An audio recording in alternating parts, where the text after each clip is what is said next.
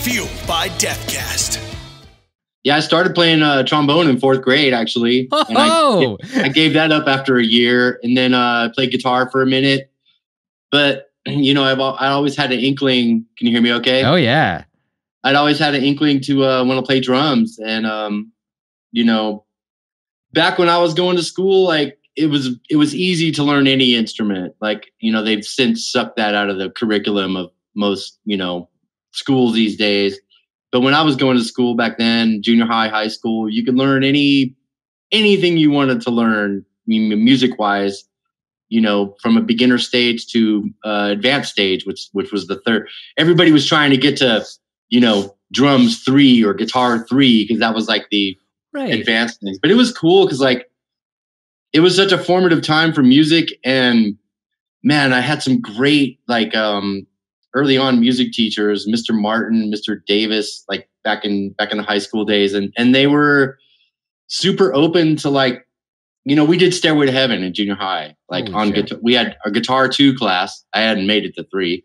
We we did uh Stairway to Heaven and there was like 12, you know, junior high schoolers playing that song. And then then eighth grade came and I was like, I want to play drums. Our our high school music teacher, Mr. Davis from Richmond High School, um, he was a very progressive like music teacher.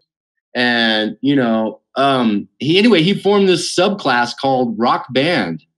And it was basically the earliest formations of Exodus. And it was um it was myself, Tim Agnello, um, and another guy, Eddie Clare. There's two drummers and a guitar player, basically jamming in an attic of a music classroom, and um, that's kind of where. And we were already listening to rock. My, my friend Eddie, he was the other drummer. He was the big Kiss fan, and I never so much was into Kiss back then because, you know, Sabbath was coming out with like amazing stuff, like it, you know, every, every two albums a year that just blew your mind and Rainbow Rising and all that stuff. Um, but that's like the earliest formations I could remember. And then I transferred high schools, and I was already friends with Gary at that point at Richmond High. He didn't even play guitar yet.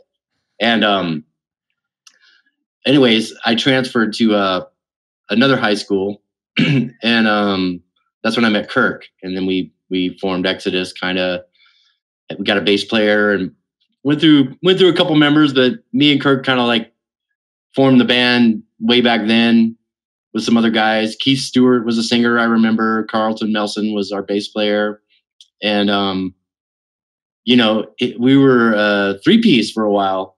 And then, and then Kirk showed Gary some chords, and wow, that was a good idea, right? I remember our friend Merle bought the first Iron Maiden album just because of the picture. He didn't know anything about the music.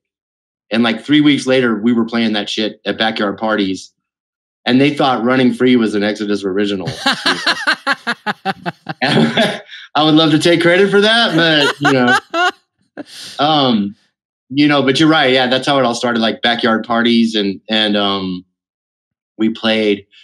We would sponsor like shows. We had one called Jug Night where we bought all this booze and you know back in those days you could you could attract a crowd just just having free beer Yeah. you know and um so we we we we put on these parties and we would rent halls and um you know under this fictitious we would have we would have somebody older go in and say hey we're just gonna have like a little social gathering you know and it ended up being a rager